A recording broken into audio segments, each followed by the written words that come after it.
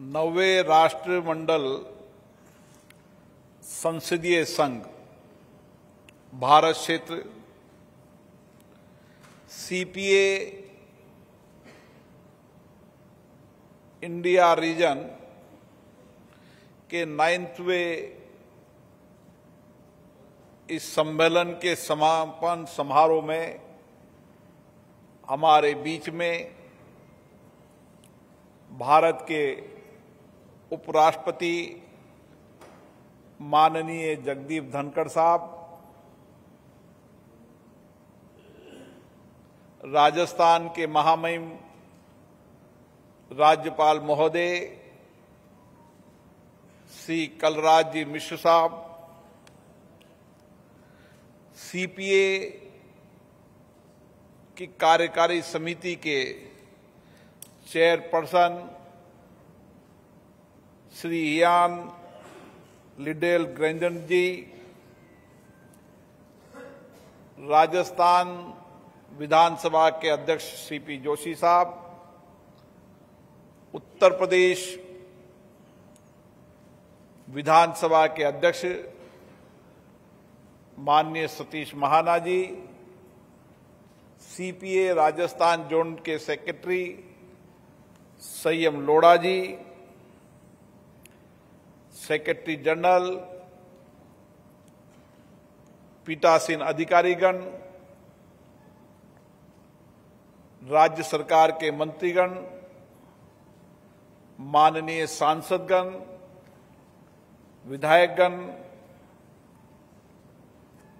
Deputy स्पीकरगण गणमान्य अतिथि भाई और बहनों मैं सर्वप्रथम माननीय उपराष्ट्रपति जी का धन्यवाद देता हूँ, आभार व्यक्त करता हूँ कि उन्होंने इस सम्मेलन के समापन समारोह में आने में स्वीकृति दी। उनका व्यस्त कार्यक्रम था, लेकिन उनकी संसदीय लोकतंत्र पे अति विश्वास और जिन्होंने राजस्थान की राज्य विधानसभा से लेकर लोकसभा में लोकसभा में भी संसदीय मंत्री के रूप में हमेशा उनका लोकतंत्र के प्रति अति विश्वास है। हमारे बीच में महामहिम राज्यपाल महोदय हैं।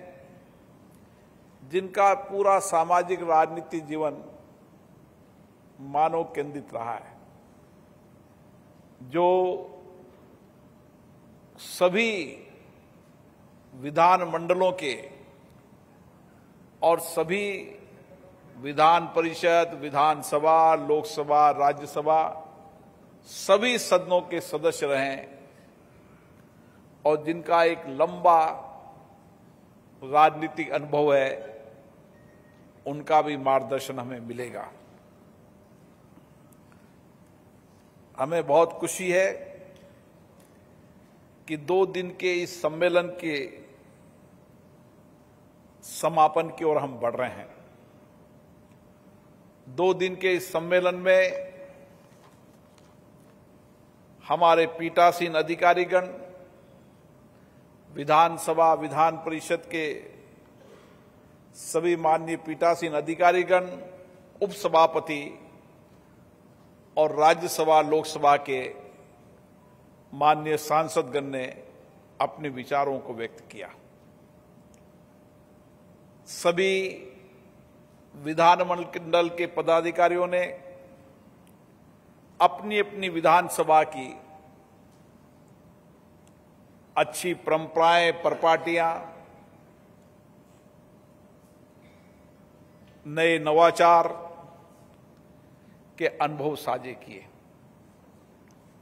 हमारे मान्य सांसदगणों ने अपने अनुभव के आधार पर हम किस तरीके से लोकतांत्रिक संस्थाओं को सशक्त बना सकते हैं, जवाबदेही बना सकते हैं, प्रशासन में पारदर्शिता ला सकते हैं, जवाबदेही ला सकते हैं उसके लिए भी विचार रखें। सीपीए भारत जोन जो हमेशा समय समय पर लोकतांत्रिक व्यवस्थाओं के अंदर परस्पर अपने अपने अनुभव, विचार, नवाचार और उसके साथ साथ एक राज्य से दूसरे राज्यों के बीच में संसदीय परंपराओं का आदान प्रदान, विचारों का आदान प्रदान, और किस तरीके से इन विधान मंडलों को हम जनता से सीधा संवाद से जोड़ें, इन विधान मंडलों की जनता से सक्रिय भागीदारी हो इन विधान मंडलों के बारे में संपूर्ण देश की जनता, नौजवानों को जानकारी हो, इसके लिए सीपीए लगातार कार्यक्रम करता रहता है। सीपीए के विधान में भी राज्यों के अलावा अंतर्राष्ट्रीय स्तर पर भी एक दूसरे देशों के संसदीय परंपराओं बेस्ट प्रैक्टिसेज उनकी परंपराओं को साझा करने का भी कार्यक्रम होता है। उसके साथ साथ सीपीए के समय समय पर सभी सीपीए देशों के सदस्यगण जिसमें विशेष रूप से सीपीए के अंदर राज्यों के विधानमंडल के पीठासीन अधिकारी गण भी होते हैं। वो भी अंतर्राष्ट्रीय स्तर पर वहाँ के सम्मेलनों में अपने विचारों को व्यक्त करते हैं। और किस तरीके से हम इस संस्था के उद्देश्यों को लेकर लोकतंत्र को और सशक्त कर सकें, इसके लिए समय समय पर चर्चा संवाद चलती है। इस दो दिन के अधिवेशन के अंदर डिजिटल के माध्यम से सुशासन स्थापित करना और डिजिटल के माध्यम से इन संस्थाओं को जवाबदेही बनाना। उस पर कई मान्य विधानमंडल के सदस्यों ने महत्वपूर्ण विचार व्यक्त किए। मुझे पता है कि उनका एक लंबा अनुभव अपने राजनीति जीवन में रहा है और उनके अनुभव का लाभ उस राज्य की विधान परिषद, विधानसभा को तो मिल ही रहा है, लेकिन उनका अनुभव देश के संसदीय लोकतंत्र को भी मिल रहा है। और इसीलिए इन विचारों के आदान प्रदानों से नवाचारों से बेस्ट प्रैक्टिस से, चर्चा संवाद से ही हमने इस पिचहत्तर वर्ष की लोकतंत्र की यात्रा में देश में सामाजिक आर्थिक बदलाव भी किया है और देश को लोकतांत्रिक देश के रूप में, एक विश्व के मार्गदर्शन भूमिका रूप, के रूप में भी स्थापित किया है। और इसीलिए बदलती परिस्थितियों में जब टेक्नोलॉजी का जमाना है, और इस टेक्नोलॉजी का उपयोग कैसे हो, और इसीलिए भारत की अधिकतम विधानसभा। अभी पेपरलेस विधानसभा हो चुकी है। और अधिकतम विधानसभाओं में अपने कार्यक्रम में उन्होंने सूचना प्रौद्योगिकी का उपयोग बढ़ाने का महत्वपूर्ण काम किया है। लेकिन इस चर्चा संवाद के बाद हमारे विधान मंडल इस डिजिटल माध्यम से जनता की पहुँच तक पहुँचने के निर्णायक कारगर साबित होंगे। आने वाले समय में हमारी योजना है कि राज्य के विधानसभाओं के अंदर जो भी कार्रवाई होती है, जो भी महत्वपूर्ण मुद्दों पर डिबेट चर्चा होती है मान्य विधायकगण अपने अपने क्षेत्र की समस्याओं, अभावों, कठिनाइयों को विधानसभा में उठाते हैं। प्रश्नकाल और अन्य उस विधानसभा के नियम प्रक्रियाओं के तहत जो सवाल उठाते हैं, जो कानून बनाने का काम होता है, उसकी पहुँच जनता तक पहुंचाएँ। मुझे आज भी मैं कह सकता हूँ, जो कानून चाहे राज्य में बनते हो, चाहे कानून केंद्रीय विधान मंडलों में बनते हों, उस कानून बनने के बाद वर्षों तक आम जनता को जानकारी नहीं होती। कि हम जनता के कानून, जनता के लिए कानून बनाते हैं, जनता के कल्याण के लिए कानून बनाते हैं, जनता को अधिकार देने के लिए कानून बनाते हैं, और एक पारदर्शिता शासन व्यवस्था लाने के लिए कानून बनाते हैं। लेकिन जिनके लिए कानून बनाते हैं, उनकी सारी डिबेट चर्चा होने के बाद भी, जो उस कानून से प्रभावित है, उनको भी कानून की जानकारी नहीं होती। और कई बार तो कानून बनने के बाद, सालों तक रूल्स न बनना यह हमारे लिए बहुत चिंता का विषय है।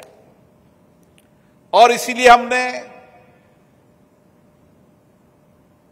लोकसभा में फैसला किया है और राज्य विधानसभाओं से मेरा आग्रह है कि जो कानून पारित लोकसभा या राज्य विधानसभा में हुए वह कानून पारित होने के बाद उसके रूल्स तय सीमा में बने और उस रूल्स को बनने के बाद वह सदनों के अंदर टेबल हो ताकि कानून और रूल्स की सारी जानकारी आम जनता को मिल सके। और यह माध्यम होगा डिजिटल के कारण। और इसीलिए हमारी संस्था जितनी डिजिटल का प्रयोग करेगी, सूचना प्रौद्योगिकी का प्रयोग करेगी, हम उतना ही जनता की पहुँच तक नज़दीक पहुँच जाएँगे। और इस भारत के अंदर मैं कह सकता हूँ, माननीय प्रधानमंत्री जी ने इस डिजिटल के माध्यम से गाँव तक एक क्रांति लाने का काम किया। आज देश के अधिकतम गाँव में फाइबर केबल पहुँच चुकी है। गाँव ढानी में बैठा आम आदमी देश प्रदेश विश्व की घटनाओं की जानकारी रख सकता है। हमारी पहुँच उस अंतिम व्यक्ति तक पहुंचनी है। और इसीलिए जब हमारी विधानसभा डिजिटल का उपयोग करने लगेगी, हमारे चुने हुए माननीय विधायकगण जो मुद्दे उन्होंने उठाए, जो सवाल उठाए, उनकी पहुँच जनता तक पहुँचने लगेगी तो शासन में पारदर्शिता जवाब दे आएगी। और इसीलिए इस डिजिटल के कारण इस डीबीटी के कारण एक पारदर्शी शासन और पारदर्शिता, आर्थिक सुचिता लाने का काम भी भारत में हुआ है। आज हम जिस करप्शन की बात करते हैं, उस करप्शन के रोकने में भी टेक्नोलॉजी का महत्वपूर्ण उपयोग हुआ है। जहाँ जहाँ टेक्नोलॉजी का उपयोग हुआ, वहाँ करप्शन कम होता चला गया। और इसीलिए आम आदमी तक सरल सुलभ तरीके से पहुँचने में तकनीकी का महत्वपूर्ण उपयोग है और इस भारत में हम सब ये देख रहे हैं, ये परिवर्तन का युग है। हम उन विकसित देशों से भी आगे की ओर बढ़ रहे हैं, जहाँ हमसे पहले टेक्नोलॉजी आई है। लेकिन मेरा विश्वास है, आने वाले समय में हम इस सूचना प्रौद्योगिक तकनीकी का उपयोग सकारात्मक दिशा के अंदर विधान मंडलों, विधानसभाएँ और केंद्रीय विधान मंडलों में भी करेंगे। और जो चर्चा संवाद हुआ है, जो दो दिन तक आपके विचार विमर्श आए हैं, उन विचार विमर्शों के निर्णयों को लेकर हम आने वाले समय के अंदर, इस एक वर्ष के अंदर हम जब उन विधान मंडलों में इन सारी डिजिटल तकनीकी का उपयोग करेंगे, उसके बाद हर साल समीक्षा करेंगे कि हमने जो लक्ष्य तय किए गए थे, उन लक्ष्य तक हम पहुँचे, नहीं पहुँचे। दूसरा विषय जो महत्वपूर्ण है कि जनप्रतिनिधियों के माध्यम से समृद्ध राष्ट्र बनाना। निश्चित रूप से जब संविधान बना था, संविधान निर्माताओं ने दुनिया के अंदर एक ऐसा संविधान बनाया जो आज मार्गदर्शक की भूमिका है। केवल 140 करोड़ जनता के लिए नहीं, आज विश्व में जहाँ कहीं भी संविधान बनता है तो उस संविधान के अंदर जब चर्चा संवाद उस देश में होती है तो भारत के संविधान की चर्चा संवाद की ज़रूर चर्चा होती हम आज़ादी के बाद हमने भी कई देशों से महत्वपूर्ण सुझाव लिए। लेकिन आज दुनिया के लोकतांत्रिक देश भारत के संविधान के आधार पर, जिसमें व्यक्ति के अधिकार से लेकर, समानता के अधिकार से लेकर, न्याय के अधिकार से लेकर, मतदान के अधिकार से लेकर, एक ऐसी लोकतांत्रिक व्यवस्था भारत में खड़ी की है जहाँ जनता का शासन और जनता के द्वारा शासित शासन है। जहाँ पर पारदर्शिता चुनाव में है, जहाँ सत्ता का हस्तांतरण सहज रूप से हो सकता है, यह हमारी डेमोक्रेसी की ताकत है। लेकिन डेमोक्रेसी के अंदर जो हमारे विधान मंडल हैं, जो केंद्रीय विधान मंडल हैं, उस पिचहत्तर वर्ष की यात्रा के अंदर कहीं न कहीं हमारे सदनों की गरिमा, गिरती गरिमा हमारे लिए चिंता का विषय। और इस गिरती गरिमा को, इसकी मर्यादा को, इसकी गरिमा को बनाने का काम कौन करेगा? जो सदन में बैठे जनप्रतिनिधि, उसकी ज़िम्मेदारी है। जनता ने जिस मनोभाव से उनको चुनकर भेजा है, उनकी ज़िम्मेदारी है कि वह सदनों के अंदर जनता की अपेक्षाएँ, आकांक्षाएँ, कठिनाइयाँ, उनके विचारों को सदन के माध्यम से सरकार तक पहुँचाए। हर विषय पर डिबेट करे, चर्चा करे। कानून बनाते समय सक्रिय भागीदारी हो। क्योंकि एक जनप्रतिनिधि का संवाद सीधा जनता से रहता है। और जो कहते हैं ना कि ज़मीन का फीडबैक अगर असली आएगा तो जनप्रतिनिधि से आएगा। और इसीलिए हमारे जनप्रतिनिधि हर तरीके से सक्षम होना चाहिए। और इसलिए समय समय पर हम जनप्रतिनिधियों के लगातार प्रशिक्षण के माध्यम से उनकी कैपेसिटी बिल्डिंग का काम करते हैं, उनकी क्षमता निर्माण का काम करते हैं। जनप्रतिनिधियों का सम्मेलन करते हैं, ताकि वे एक राज्य से दूसरे राज्य के जनप्रतिनिधियों के विचारों बेस्ट प्रैक्टिसेजों का अनुभव कर सके। और ये सीपीए का सम्मेलन भी इसी तरीके से जनप्रतिनिधियों के संवाद और चर्चा के माध्यम से हर जनप्रतिनिधि अपने आप नए नवाचार कर कर,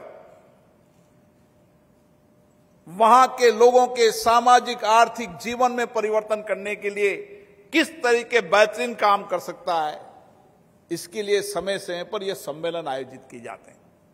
और मेरा मानना है, मेरा विश्वास है कि यह बहुत गंभीर चिंतन का विषय है कि भारत आज दुनिया में तेज़ी से बढ़ता हुआ भारत है।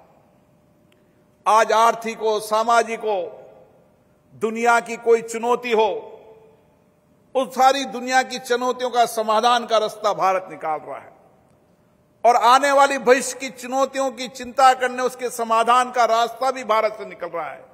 उस समय हमारी ज़िम्मेदारी बन जाती है कि हमारे जनप्रतिनिधि जब सदनों में चर्चा करें, संवाद करें तो वर्तमान चुनौतियों पर भी चर्चा करें और भविष्य की 25 साल की भविष्य की कार्य योजना के माध्यम से हम कैसा भारत बनाना चाहते हैं, उसकी चर्चा संवाद भी हमारे सदनों में होना चाहिए। लेकिन हमारे सदनों के अंदर गतिरोध पैदा करना, सदनों को न चलना नियोजित तरीके से सदनों का गतिरोध पैदा करना, ये लोकतंत्र के लिए उचित नहीं है। मैं हमेशा हर प्लेटफॉर्म पर यह बात कहता हूँ। और मुझे आशा है, एक दिन समय आएगा, हम उस समय का इंतज़ार कर रहे हैं, कोई देर नहीं, जब सदनों में गतिरोध न होगा। हर दिन, हर क्षण, भारत की जनता का एक एक रुपए का उपयोग चर्चा, संवाद के माध्यम से होगा। बेहतर कानून बनाने के लिए होगा। हर चुनौतियों का समाधान सदनों के माध्यम से निकलेगा। और हम जनता के एक अंतिम व्यक्ति के जनता के कल्याण के लिए, सामाजिक, आर्थिक बदलाव के लिए ये सदन आज भी महत्वपूर्ण है। इन सदनों को और सार्थक बनाने के लिए हम काम करेंगे और मेरा विश्वास है जितनी जनप्रतिनिधियों में क्षमता निर्माण होगी, जितनी उनकी सदनों में सक्रिय भागीदारी होगी, उतना ही जल्दी भारत समृद्ध और विकसित राष्ट्र बनेगा। और इसीलिए प्रधानमंत्री जी ने कहा है कि आज़ादी के सौ साल जब हों तो दुनिया में विकसित भारत बने, हर चुनौतियों का समाधान भारत से हो। और हम दुनिया के अंदर आज डेमोक्रेसी के रूप में नेतृत्व कर रहे हैं। आज भारत डाइवर्सिटी के ताकत हमारे पास है। आज हमारे पास नौजवानों की ताकत हमारे पास है। उनकी बौद्धिक क्षमता, नवाचार की ताकत हमारी है। भारत एक युवा देश है और इसलिए हम सब मिलकर इस देश को आगे बढ़ाने में हमारे जनप्रति विशेष रूप से भूमिका निभाए। मैं पुनः माननीय उपराष्ट्रपति जी का, राज्यपाल महोदय का बहुत बहुत धन्यवाद देता हूँ और विशेष रूप से राजस्थान विधानसभा के अध्यक्ष सीपी जोशी साहब का, जिन्होंने इस सम्मेलन को आयोजित किया और एक बेहतरीन आयोजन किया। और एक लंबी चर्चा संवाद यहाँ पर हुई। मुझे आशा है जो दो दिन तक चर्चा संवाद हुआ है, इसको हम लेकर आगे चलेंगे। जब हमारा अगला सीपीए सम्मेलन होगा, तब हम समीक्षा करेंगे कि जिन लक्ष्यों को लेकर हम चले थे, उन लक्ष्यों की पहुँच कहाँ तक पहुँच पाए। आप सभी को बहुत बहुत धन्यवाद।